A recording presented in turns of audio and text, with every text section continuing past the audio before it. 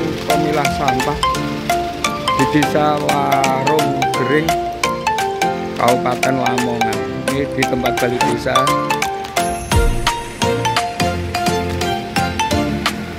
Untuk kegiatan BUMDes pemberdayaan masyarakat desa.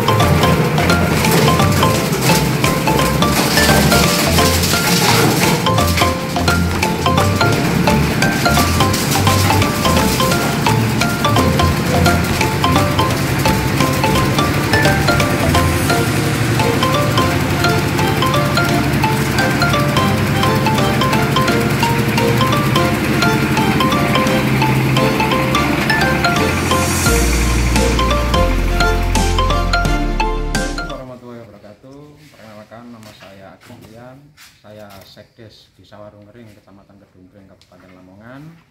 Nah, di sini saya akan memperkenalkan sebuah produk eh, pemilah sampah.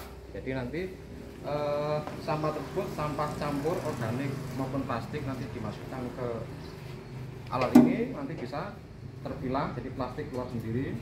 Terus yang organik akan eh, kondisinya halus nanti bisa kita aplikasikan sebagai pakan maggot.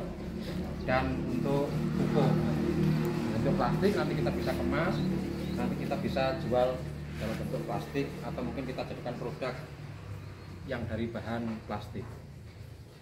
Nah ini kita beli mesin ini dari anggaran dana desa tahun 2022 nanti kita jadikan unit BUMDes pengelolaan sampah. Kebetulan di desa kami eh, masalah sampah itu menjadi momok dan itu sebuah permasalahan yang sudah lama.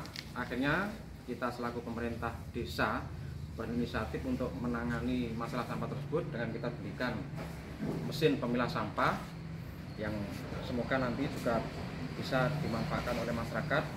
Nanti bisa eh, kebersihan lingkungan pun akan terjaga. Yang kedua dari sampah tersebut nanti kita bisa hasilkan profit. Oke, sekian, terima kasih.